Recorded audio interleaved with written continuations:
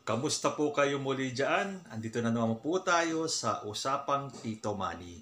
Pero bago po tayo magpatuloy, kung bago po kayo sa aking channel, please hit on the subscribe button below pati na po yung notification bell para tuloy-tuloy lang po yung ating uh, pag-uusap. Again, nagpapasalamat po ako sa aking mga subscribers at sa mga viewers kung wala po kayo, eh hindi po ganun kabilis ang pag-angat ng ating channel. So maraming maraming salamat po sa inyong suporta.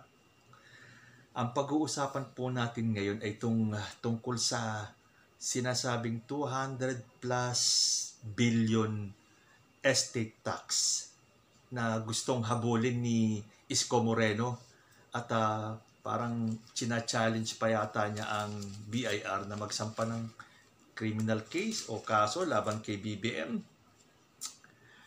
So, actually ako, no, wala akong kaalam-alam dyan sa estate tax na yan.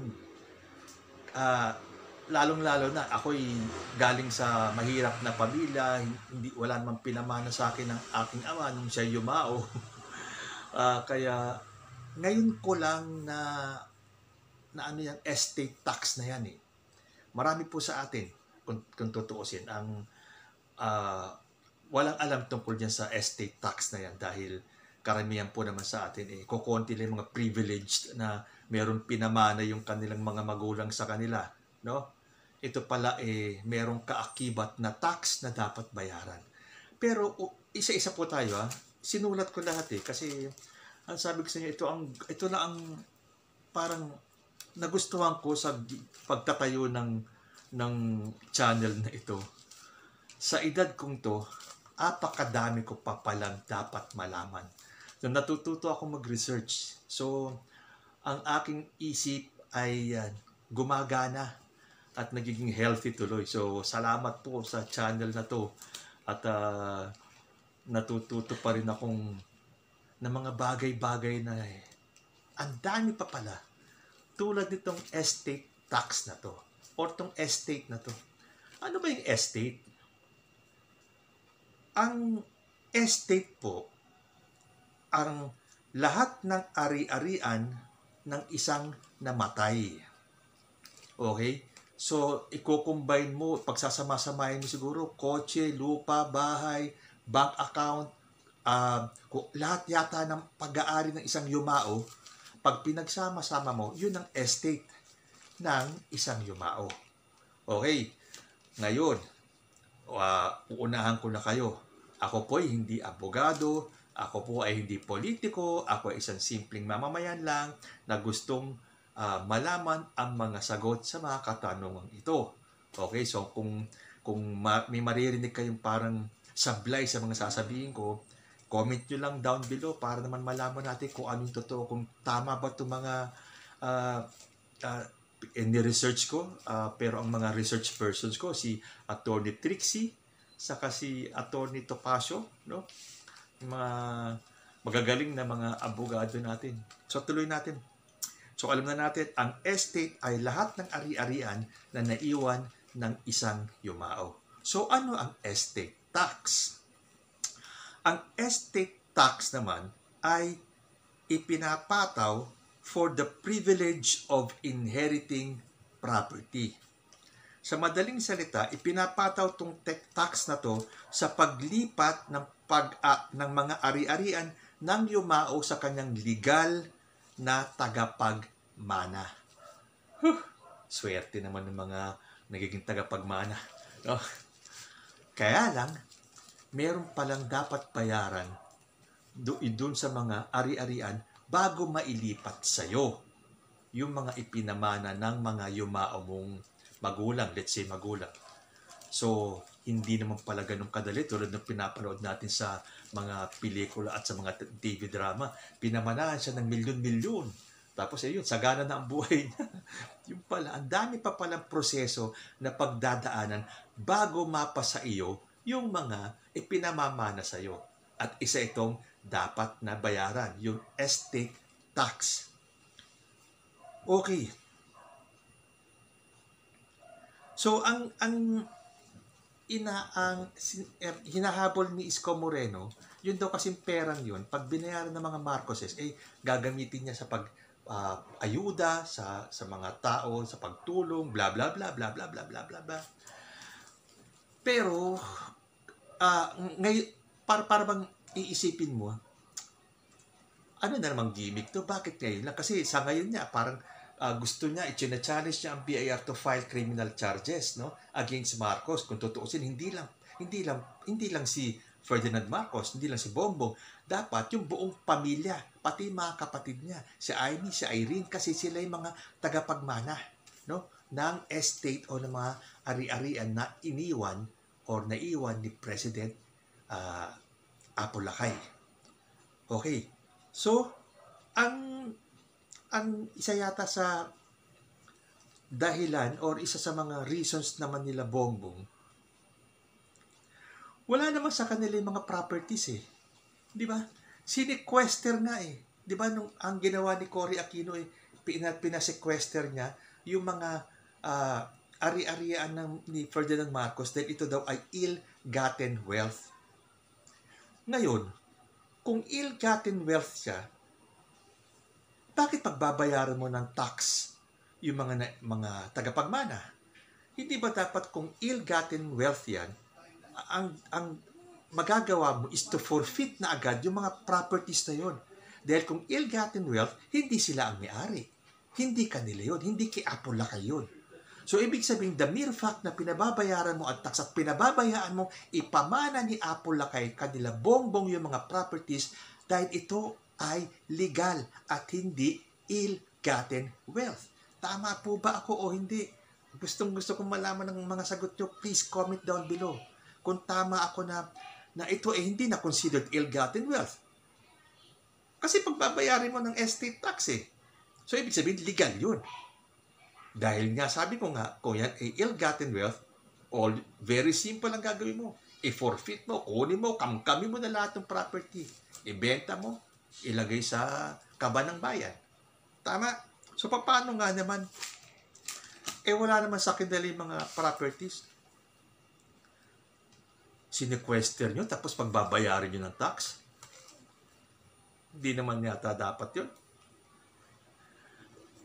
At isa pa, tuloy natin, paano, paano siya sasampahan ng tax evasion case, tax evasion case na criminal, eh hindi naman po ito considered tax evasion. Itong hindi pagbabayad ng uh, estate tax. Kasi, Kunyari ako, pinamanahan ako ng tatay ko ng lupa. Malaking, siguro, ilang ektare ng lupa.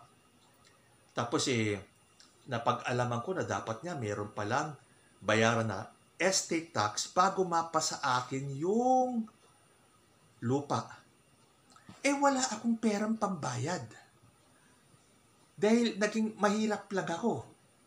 Wala akong means para magbayad ng ganong kalaking estate tax.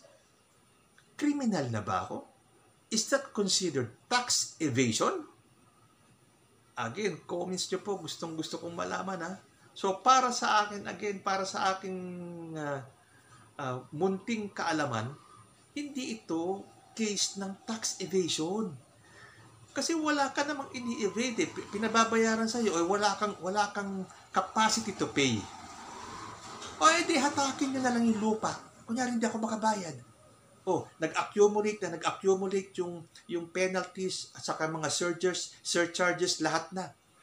Lumaki na yung, yung babayaran na equivalent na doon sa uh, presyo ng lupa. O eh, hindi ko na talaga kayang bayaran eh. O inyo na lang yung lupa, kayo magbenta, inyo na yung pera. Will that make me a criminal? uh, ako ba ay maging tax evader? Eh hindi ko naman hindi ko naman uh, napakinabangan yung lupa dahil hindi naman mapapasa akin yung lupa hanggat hindi naman uh, nababayaran yung estate tax. Lalong-lalo na kung sinikunyari na pagpalagay natin na sequester yung aking lupa, eh di mas lalong wala akong wala akong napakinabangan doon. Tapos gugustuhin nyo magbayad ako ng estate tax. Eh, sine-question nyo na, edi inyo na, wala akong pambayad eh. Mapipilit nyo ba akong bayaran niya kung wala akong pambayad? Or kung ayaw kong bayaran? Kriminal na ba ako nun kung ayaw kong bayaran ng isang uh, uh, gustong ipamana sa akin na ayaw ko naman dahil wala naman din akong pambayad. E di sa inyo na, binibigay ko na nga sa inyo eh. Tama po ba o mali? So, at, so kung ito ay tax evasion, bakit hindi ito ang ibinala nyo kay, kay Bongbong dun sa disqualification case sa Comelec? Ay, ang laking halaga nito. 203 billion ba yun? Or 200 plus billion? Kumpara dun sa isinampang kaso kay BBM na napakaliit na halaga. Kung ito ay binalan ninyo, baka hindi hindi na nagtagal, disqualified na si Bongbong. Eh hindi nga ito kasi tax evasion. Hindi po to kaso ng tax evasion. Eh di sa ang pagkakaalam ko matagal na to eh. Ilang taon na to eh ang nakakaraan eh. No? 'Di ba marami din tayong naririnig ng mga mga pamilya na hindi hindi nila makuha yung kanilang minana dahil hindi, hindi sila makabayad ng ng estate tax. So, nakulong ba sila? Naging kriminal ba sila? So, anong kaibahan ng kanila Bongbong Marcos? Yun sa, sa aking pananaw lang, ha? Sa aking pananaw. So, hindi siya ma mako-consider na tax evasion. So, ano ang ano ang ang pinipetisyon nyo na na magsampa ng kaso ang BIR kay Bongbong? Hindi sana noon pa, marunong pa kayo sa BIR. Ibig sabihin, hindi alam ng BIR ang kanilang dapat gawin o inabot ng ganto katagal, eh di sana pinakulong na nila ang buong angkan ng uh, Marcoses. Eh, ilang presidente na rin ba ang nagdaan? Oh, kay Noy Noy, sino ba ang ano doon? Ang sa BIR? Kim Hinares. Eh sana noon pa pina, nagsas, nagsampa na kayo ng demanda. Diba, apakasimple naman na ito ay propaganda lang. Na ito ay pautot na naman ni Isko para uh, manira na naman sa mga Marcos. Kasi gustong-gusto mong umangat ka, isko. Sumusobra na yata ang yabang mo. Para ka na si Pacquiao. A little knowledge is dangerous. Pero sa'yo, yung asta mo, dati nung nag, naging mayor ka ng Manila, ah, dati akong taga Manila eh, nung teenager ako eh. Wow, sabi ko, ang dami mong nagawang maganda kagad sa Manila. Pero pinasok ka kagad ng hangin sa ulo. Yumabang ka agad. Tinan mo to. Sana pinag-aralan mo muna to. Kung tama. Ako, ewan ko. Ito, ito ang na, natutunan ko kay is, uh, uh, Attorney Trixie saka uh, Attorney Topacio. Tapos nakikisaw-saw pa si Lenny Robredo. Hindi ba abogado ka, Lenny? Dapat alam mo to. Bakit parang atat na atat kayong magbayad yung tao. Kung tutuusin, wala tayong pakialam dito eh. Dahil ito ay talagang pag-aari ni Apo Lakay. Parang tulad din ng mga ibang pamilya na pinamanahan sila, it does not concern us. Hindi ito, uh, wala tayong kinalaman dun sa kaso nila.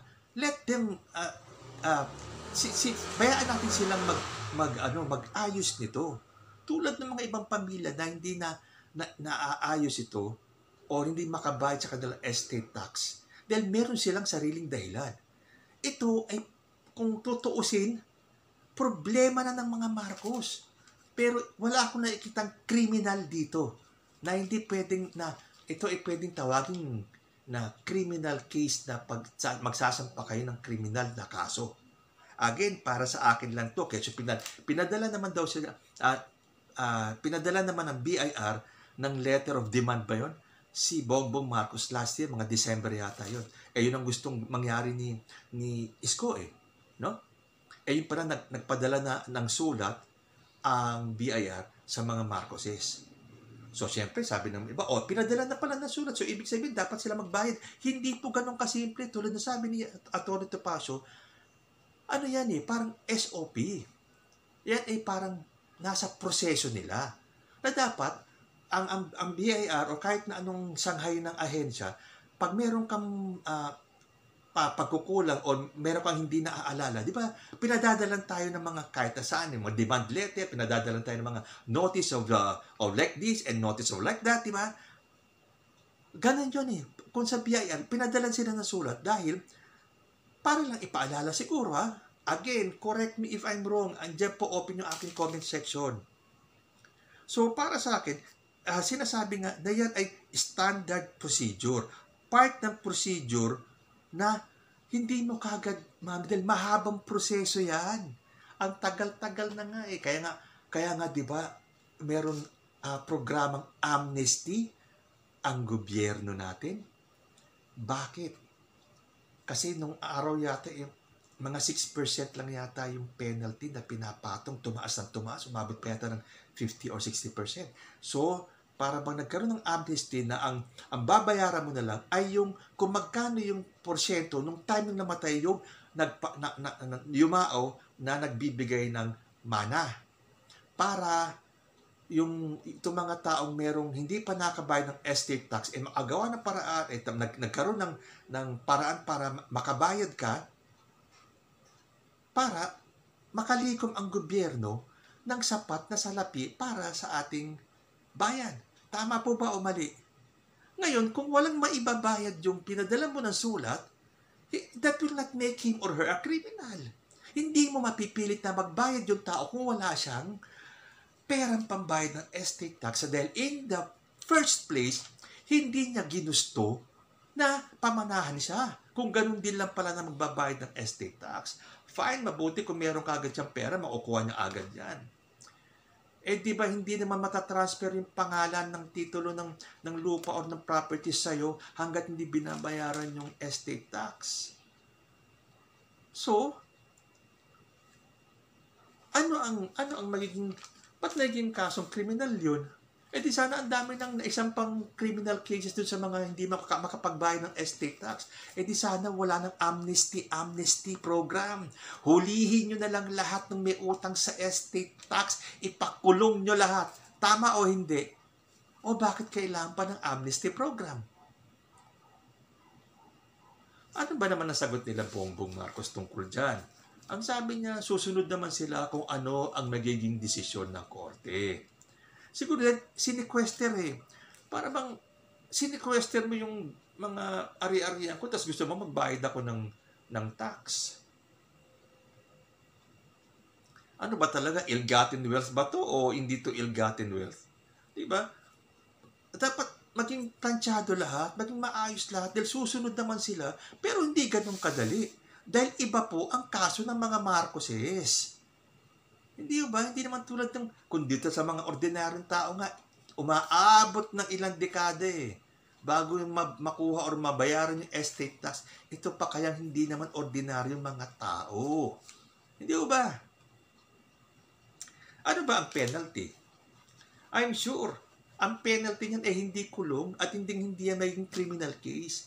Ang gagawin lang siguro ng gobyerno ay hatakin at kamkamin yung mga properties na ipamamana sana sa iyo na hindi mo mabayaran ang nag-accumulate na yung presyo at yung mga penalties, surcharges, umabot na sa, tulad dito, umabot na ng uh, bilyon or bilyon na kasing halaga na ng, ng ari-arian na iiwan sa iyo. Oh, edi kamkamin mo na lang. Iyong iyo na, kunin mo na. Ikaw magbenta, at yung pera ilagay sa kaban ng bayan. Yun ang sa tingin ko ang magiging penalty. Dahil hindi mo naman napakinabangan yung mga properties dahil hindi naman napunta sa iyo. Dahil yung, in the case of the Marcoses, nakasequester na eh. So, siyempre, may, may mga uh, procedures pa, may mga uh, litigation pa siguro dapat mang, mangyari at uh, gumagana pa yung mga mga litigation na yan. Again, if I'm wrong, pakit-correct lang po ako. So, makaka-apekto ba ito sa kandidatura ni BBM? Para sa akin po ay hinding-hindi. Dahil nga, para sa akin, itong mga estate uh, tax at mga estate, eh personal ng mga taong involved. Sila lang po ang involved doon. Kung hindi ka kapamilya, wala kang pakialam. Hindi hindi tayo dapat makialam dahil hindi tayo kapamilya. It's between the yumao na ipinamana dun sa mga legal heirs.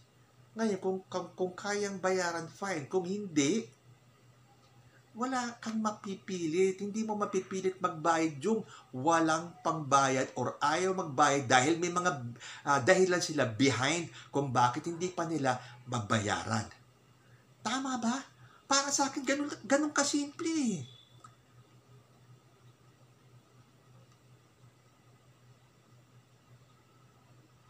Di ba? Bakit kailangan nating bakit kailangan nating pahirapan? Ako nga ito, ngayon ko lang na na, na, na pag-aralan itong estate es- estate tax na to. Mahabang proseso. Pero kung iintindihin mo mabuti, napakadali naman intindihin, hindi ba? Tulad ng mga sinabi ko. Wala pa naman siya yung property. Hindi mo naman napakinabangan. Okay. O, in, in, in some cases, sequestered yung property. So, hindi pa alam. O, ngayon, ano ba talaga to? Is this ill-gotten or hindi? Dahil kung ill-gotten, edi, forfeit. Kunin mo na lang kagad. Bakit to pagbabayaran ng tax? Ibig sabihin, hindi siya ill-gotten wealth. Ibig sabihin, legal siyang pag-aari ni Apo Lakay. Kasi hindi niya ipamamana sa mga anak kung yan ay ill-gotten wealth. So, ibig sabihin, naniniwala kayo na yung pinamamana ni Apo Lakay kanila Bongbong Marcos ay hindi ill-gotten wealth. Kasi basta magbayad lang sila ng estate tax, kanila na yon. O nasa ng ill-gotten wealth kayo doon? Tama or mali? Kaya itong si Isko, nangangarap ito eh. Halatang propaganda at naghahanap ng paninira kay Bongbong Marcos kasi ang layo, layo, layo, layo, layo, layo, layo mo sa survey. At wala kang pagkapag-asan manalo hanggang nag, naglalaban na nga lang kayo ni Lenny Robredo sa number 2 eh. So lahat na lang ng paninira, gagawin mo para umangat ka. Eh kung magsalita ka pa naman, very convincing eh. Parang ang yabang-yabang ng stance mo eh, na parang alam mo, tama ka eh. Pero very devious pala ang nasa likod. Makapanira lang, basta umangat ka. Na sinasawsawa naman ni Lenny. Oo daw, dapat daw makuha yun. Eh di ba abogado ka, Lenny Robredo? Di dapat alam mo to, abogado ka eh. Sus naman to mga taong to, makapanira lang. Bago nga kayo manira, mag-aral muna kayo. Hanggang dito na lang po. Hanggang sa susunod. Bye-bye.